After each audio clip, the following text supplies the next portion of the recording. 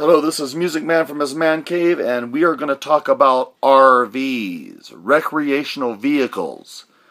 And you can spend seventy to a hundred thousand dollars for one of these rolling houses, monstrosities, and uh, it all is that allure of living in the outdoors and getting to travel around the world, baby, and getting to see bears and deer prancing through the forest.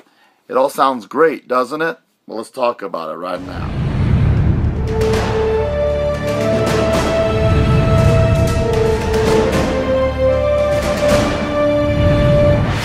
Music Man in his man cave, RVs.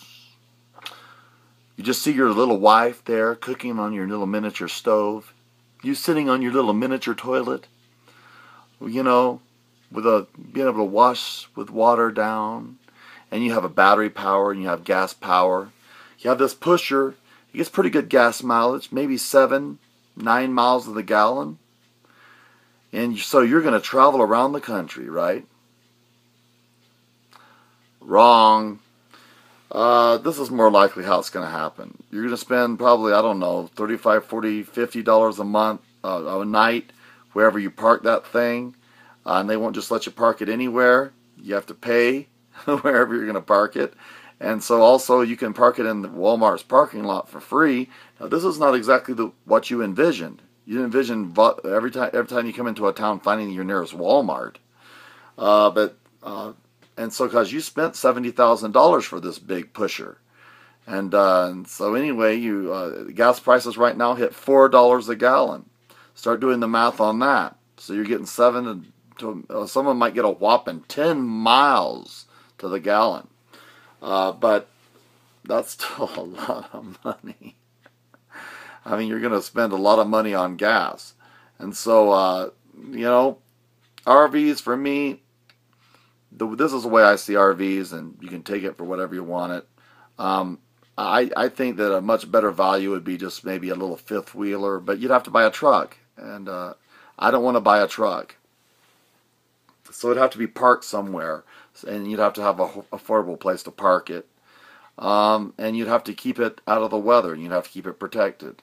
See, once again, does do you own it or does it own you? But uh, uh, fifth wheelers are the better way to go because you probably could get a really nice one used for like probably ten thousand dollars. But still, ten thousand dollars, that's a good amount of money, and I'd rather probably put that into savings and and be moving toward those goals that we were talking about. Um, if you want to see saving and investing, I have like a, a whole list of things that you need to, to work on if you really want to meet your financial goals. So anyway, RVs, um, once again, um, it just happens that uh, you, uh, you, with cabins, RVs, things like that, a lot of times you have friends and relatives that already have them, and they, they love nothing more than than you to uh, come and visit and for you to use them and so forth. You, they actually invite you, and they really do mean it. If they didn't mean it, you'd know pretty quickly. But the bottom line is uh, uh, that's about as good as camping as I want to do. My idea of camping is going out into the woods, uh, making a campfire, making some s'mores, get back in the car, and come home to my nice, comfortable bed. As you get older, that's that's when you were in your teens, you thought camping was getting in a nice tent and and laying there with that on those rocks and things. You get to a certain age that that just ain't comfortable anymore. You can't take laying on the solid ground like that for hours and hours on end.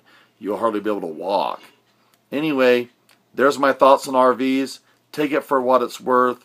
Um, I think that probably RVs is something that maybe you should rent. Uh, rent an RV for a few days and take one somewhere and see what you really think about it. See see how expensive it really is to, to own it. It's a lot cheaper than doing that. Or do what I would do. I, before I'd buy an RV, I'd travel around the country in a Prius or something and staying in the nicest motels all the way around the country, and I still wouldn't have paid a frac. I wouldn't pay a fraction of the cost that it costs to own an RV. Music Man from his man cave, giving you some sound financial advice. Think about it. Take care. See ya. Bye.